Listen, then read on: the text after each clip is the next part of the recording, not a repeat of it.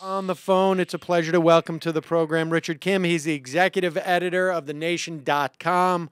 Welcome to the program, Richard. Hi, Sam. Thanks for having me on. Uh, now, uh, Richard, let's let's uh, let's get a little bit remedial here in terms of the Defense of Marriage Act. Uh, by now, I think um, if anyone's not aware that it was uh, found unconstitutional by the Supreme Court, then um, I'm surprised they have the capacity to uh, to listen to this. But let's let's go back. Give us the history of the Defense of Marriage Act because um, I'm not. Or let's start with what it is or what it was, I should say. Right. Well, there are actually several parts of the Defense of Marriage Act, and the part that was struck down yesterday is Section 3.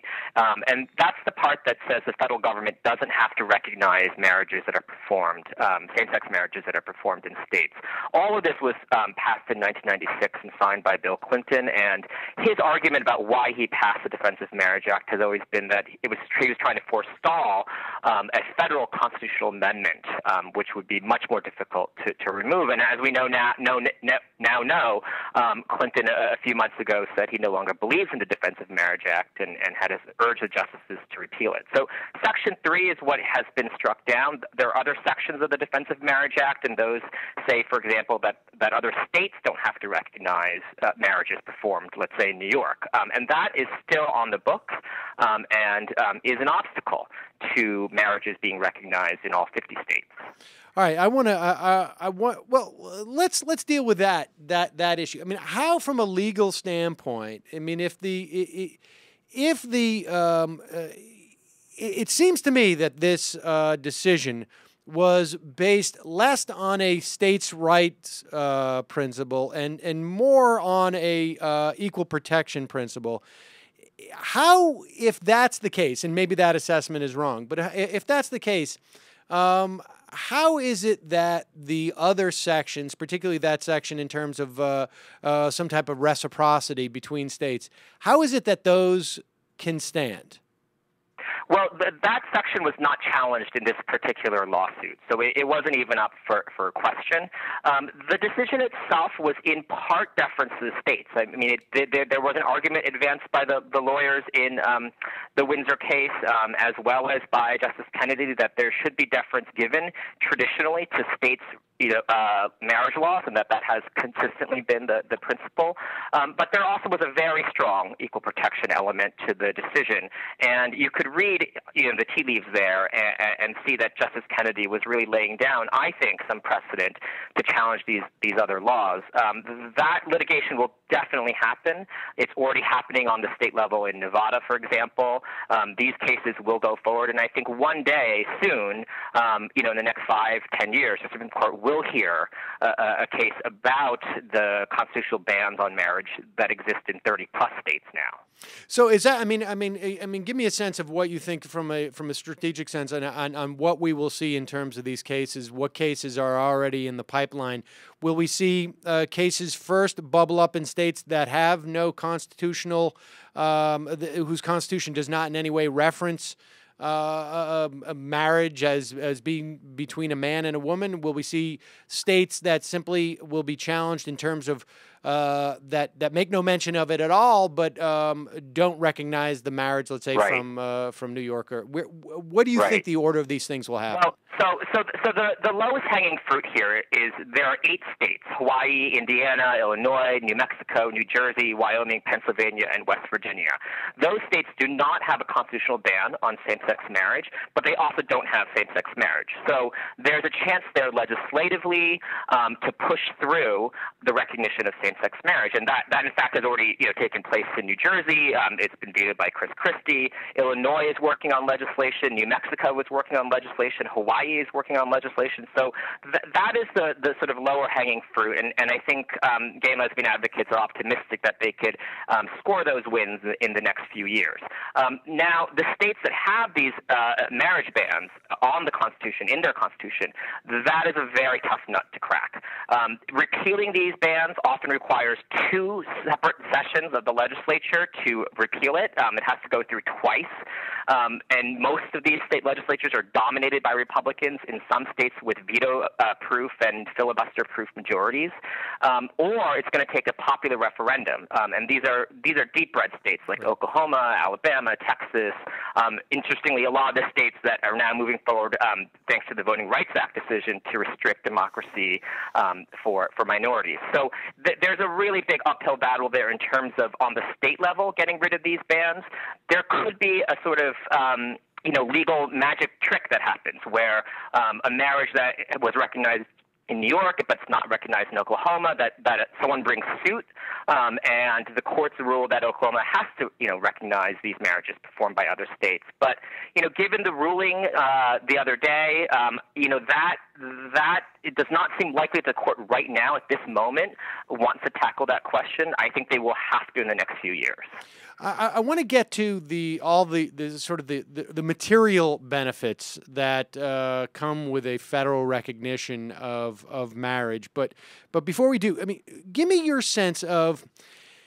I mean, there, there, there's two strategies here, right? In terms of, of these states that have uh, these bans on same-sex marriage or don't address them at all, and and I wonder from, and perhaps it's it's irrelevant, but I wonder from from a societal standpoint, from a sort of a, a, a sense of how uh, society uh, uh adopts these, uh, you know, sort of accepts um, mm-hmm. Uh, same-sex marriage, which uh, has evolved incredibly fast, at least in in in this narrow period of time that we're looking at. I mean, obviously, there's been something. The, the majority of Americans now support same-sex marriage, and that, that is a phenomenal change in just in the last few years. So, yeah. do you think that it's that it's that it's important that this happen through the courts or through legislatively? In other words, if there's a perception that this is just um, this is about you know, uh, uh, uh, just about rights that are sort of innate to people in terms of equal protection, as opposed to sort of um, this is something that we're statutorily uh, uh recognizing. Is there a difference there? Um, you know, there there is a difference theoretically. I think in practice, what has happened is that the two have worked hand in hand. That litigation has been a very important strategy. That's why same-sex marriage, for example, is legal in Iowa of all places, um, and has been legal in Iowa for, for several years now. Um, but you know, I, I actually think the grassroots initiatives, the the, the grassroots push, um, is the most important thing. You know, people like to say the cliche that rights shouldn't be up um, for a vote, but in fact, they're always up for a vote. They're up for votes from Congress and from state legislatures. They're even up for votes in the Supreme Court, which in fact does vote on the on these matters and exists in the broader culture and society and is influenced by that. So, you know, I always say that actually the best thing to happen to the gay marriage movement was the loss in Prop 8. Um, that was in 2008, and people became um, agitated, motivated. They became protagonists of their own story. They didn't wait for just for the lawyers to show up or for the cases to go forward. Um, they went to their neighbors. They went on the radio and on TV, and they started their own grassroots organizations. And that push really inspired thousands and thousands, millions of gay Americans to come forward and to make a case um, for their rights after that, you saw state after state pass gay marriage Minnesota, Maine, um, for example, Maryland. Um, and, and these states did so democratically um, through the legislative process. Um, President Obama made a, a change that I right. think you know, was definitely influenced by the shift in public opinion and the concern for his future political legacy. Um, and all of that fed into the decisions that were reached yesterday. Um, they, they created the, and I think you know, it's the right perception that history is only going one way in this direction, and it's clear that Justice Kennedy wanted to be on the right side of that history. Uh, just outline for us sort of the, the, the, the material implications um, in terms of uh, uh, of a federal recognition of, of marriage. I mean, it, it, it, it really is so broad based um, that I mean, it, it ranging from um, from uh, uh, Edith Windsor getting, uh, I guess, a, a, rebate check of three hundred eighty-five thousand dollars, which of course yep. not what this is about as much, but but in some respects, it it is. It's another one of those things where the legality sets the framework for uh, for the acceptance of of uh, of equality. Yeah, well, you know, there are hundreds and hundreds of federal rights at stake, including, um, you know, rights about taxation, social security benefits, Um, even, for example, there there there. Uh, laws about state parks and entry fees into state parks um, regarding whether or not you're married. Um, so it's there. There are hundreds and hundreds of of these statutes um, on, on, the book.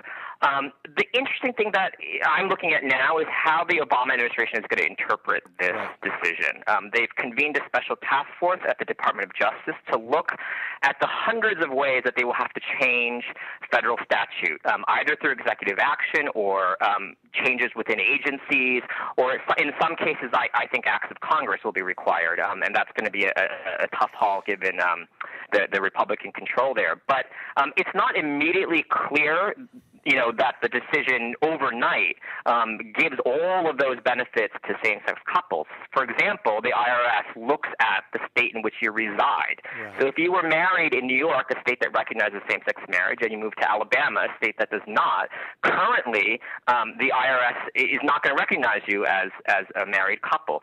The Obama administration wants to change that. Um, the Department of uh, Defense, and this is one of the, the weird things here, they look at this at the state where your marriage was performed in. Um, so you know, already Chuck Hagel has said that they're going to recognize marriages um, that were performed in New York, even if you now live in North Carolina, for example. But there's going to be a very meticulous, very arduous process to comb through all the federal statutes at all the agencies and change the laws and regulations so that same-sex couples um, who are married in the states, the 13 states that um, recognize same-sex marriage, will have their marriage rights recognized no matter where they end up living. I mean, it's sort of fascinating that there were all these idiosyncrasies in the law, which of course nobody really paid attention to that much because uh, it, it, was it was immaterial more often than not. I mean, I guess that's what sort of this uh, this uh, this represents. Now it is relevant where you were married, where uh, where it may not have been before. Yeah, there, there, there's it's the marriage law is actually very very complicated, and and there's uh, jurisdiction that states have. Um, there's the question of the full faith and credit clause. You know, are are marriages performed in one state legally recognized by another? And the the precedent there um, has traditionally been to give states some deference in constructing their own marriage laws and recognizing some marriages and not others. Um, and then there are all the the thousand plus federal benefits that that accrue. So it is um, you know a very complicated map. Um, straight people didn't really have to pay attention to right. this and don't. Um, someone like Edith Windsor absolutely did, and right. and that's why you know I saw her talk yesterday in front of the Stonewall Inn after the decision, and she said um, that when she discovered that she was going to be taxed um, just because she had married a woman, if she had married a man, she would not have been taxed three hundred something thousand dollars. Um, her sense of injustice and unfairness overwhelmed her, and that's why she brought suit against the federal government.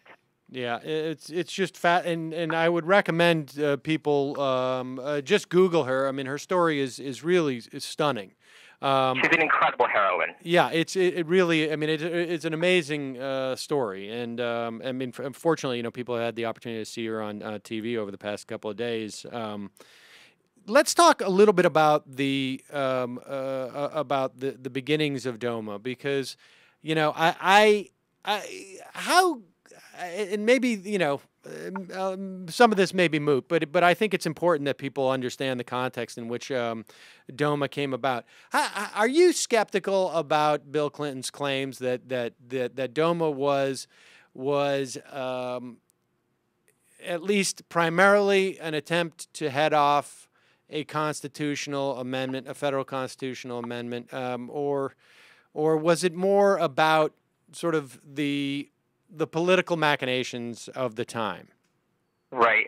Uh, you know, I don't doubt at all that there was uh, a movement to pass a federal constitutional amendment banning marriage. This is, in fact, something George W. Bush championed when, when he was president. Which I got to um, say, you know, it was one of the most, uh, of all the moments during the Bush administration, was one of the most chilling moments. I mean, I think I've said this before on this program, but it, I found it to be one of the most chilling moments uh, in, in in my adult life watching the president go on television and say how sad he was that he was going to have to promote uh, discrimination against a group of people in our country. I mean, that was just sort of stunning.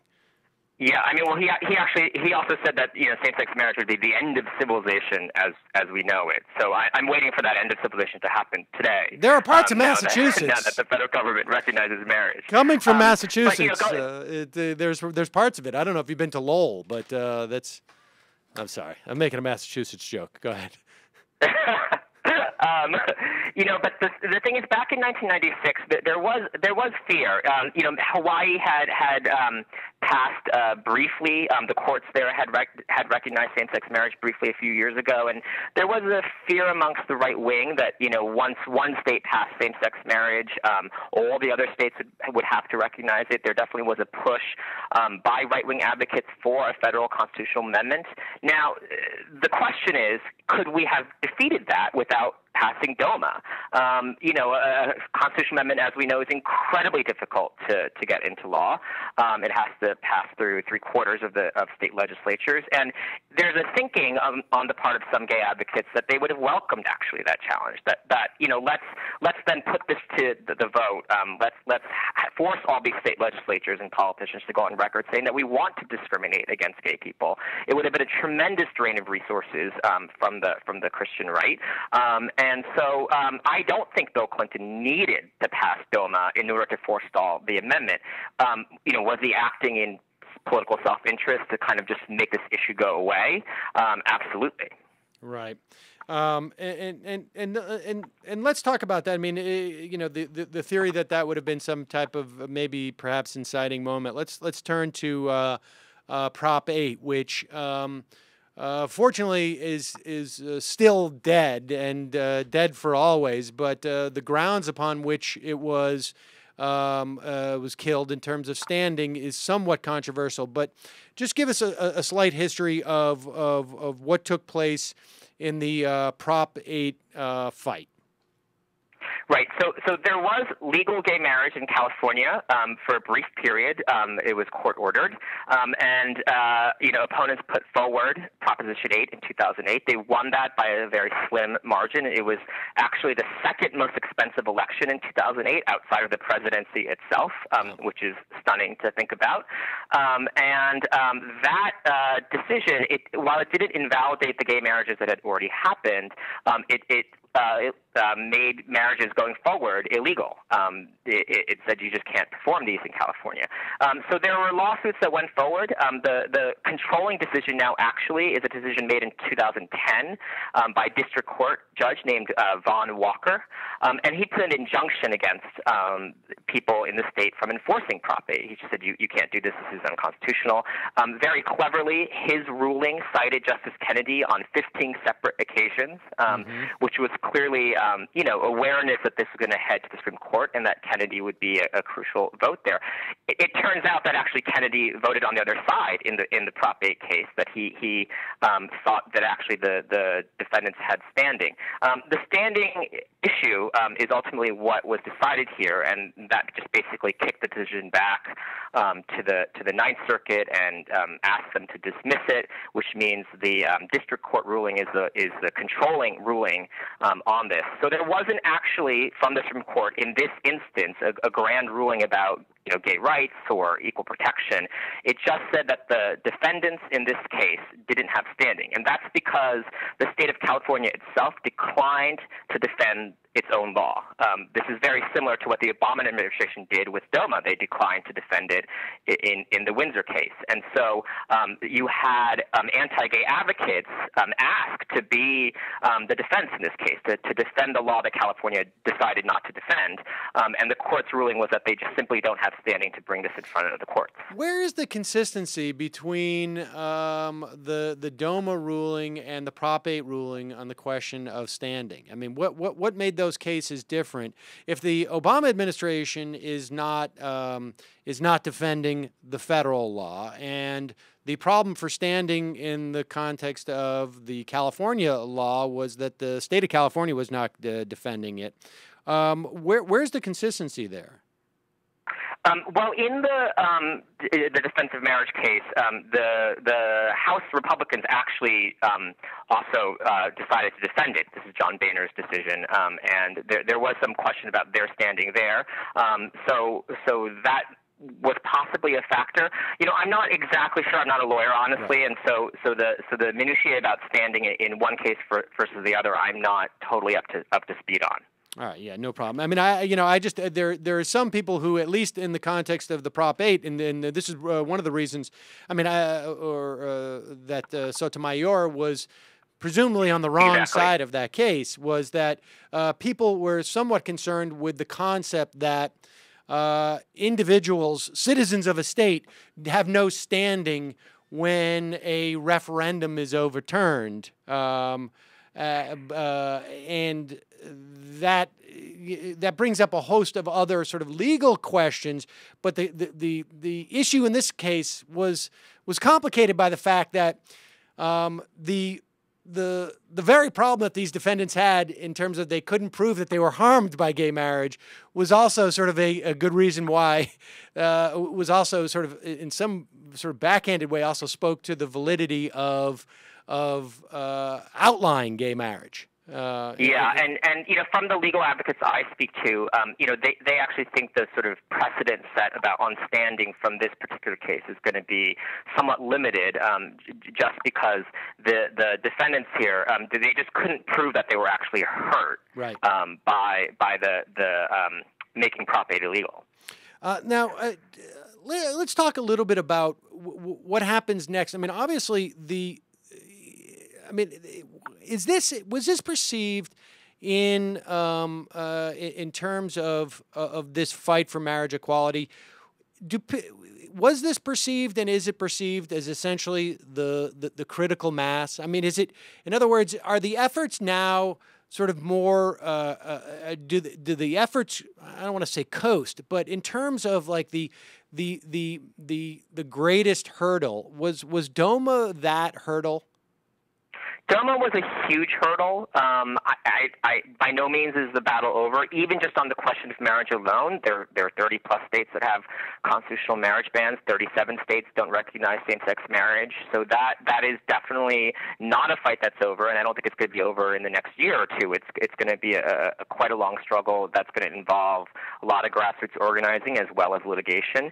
29 states, Sam. Um, in 29 states, you could be fired simply for being gay um, because the Employment Non-Discrimination Act, what's called ENDA, um, hasn't passed Congress yet, um, despite President Obama saying he would he would want to sign that.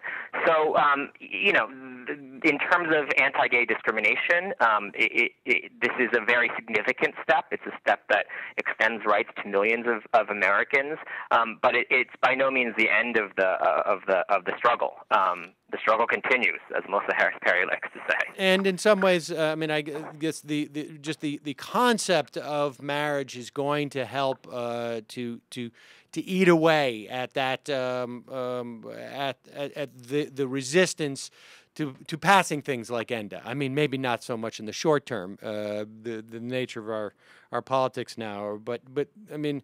I'm curious, just from a from a from a sort of a, like a, a broad societal standpoint. I mean, do, the, was that point maybe reached just when uh, the majority of the public uh, had no problem with marriage equality? Yeah, you know the the shift in poll numbers has been uh, just incredibly swift here. Um, five, six years ago, the majority didn't support um, same-sex marriage. They didn't even support um, halfway measures like civil unions or domestic partnerships. A solid majority of Americans um, support same-sex marriage now. It's only moving in one direction. When you poll young people, um, I think that's where right. Um, the change is, is most acute. Young young Republicans support same-sex marriage. So um, you know, I, I think just in terms of a political dynamic, it's going to be interesting to see how the Republican Party deals with this. Um, um, very similar uh, situation to immigration reform. Um, right. You know, they're they're at at, at risk of losing um, perhaps permanently a key demographic, um, not just gay people and not just um, Latinos, but young people of all races and sexual orientations care about these issues. And you know, if they see their the party fight tooth and nail to to, to maintain discrimination, um, that is going to have, I think, some pretty serious repercussions. Yeah, people should keep in mind that in 2004, uh, gay marriage was basically a cudgel used by the Republicans um, as an electoral strategy, and that has completely flipped. Uh, in in in many respects, what, uh, Richard? I mean, what do you think accounts for this? I mean, because you know, um, I, I, you know, I, sometimes I think that like like things like Ellen frankly, like a, like that sitcom, um, like uh, Will yeah. and Grace. I mean, I, I I can't help but think. I mean, I look at you know because this has really happened over the course of my of of my adult life, and yeah. it's, it's stunning. Yeah, it's it is, it is stunning. I definitely think popular culture and and and those sorts of things helped. Um, you know, I think something that underlies all this is the fact that same-sex marriage doesn't harm anybody. Um, no one has been effectively able to show that their straight marriage has been harmed by two men or two women getting married in in, in any state um, where where it's it's legal. So um, you know it is one of these rights that was um, opposed by by vast majorities of Americans at one point, um, opposed quite vociferously and and stridently. Um, but I think once it became a reality, people realized that it, it actually does no harm to, to anybody. And you actually saw that in Iowa, which you know has same-sex marriage, and that was um, court ordered, and there was a big, you know, kerfuffle about that. There were some judges on that court that were um, voted out in the next election, but now most Iowans accept it. Um, they, a lot of them actually applaud it. They're very proud that their state is one of the states that recognize same-sex marriage, and and even the sort of middle there realizes that it, it actually doesn't harm their lives in in, in any extent. So, um, you know, I think uh, you know it's it's a kind of a no-brainer, and it just sort of takes a cognitive shift to realize that, and and that's what happened in the last few years. Yeah, it's been stunning, and it's really, um, you know, it's it's been just incredibly uh, moving to see, uh, to hear the stories, and to see the images of of people yeah. who, you know, have spent. Yeah, and Go ahead. A lot of hard work went into it, you know. So I, yes. I don't want to also discount that. That that even as it is a kind of a no-brainer, a lot of gay people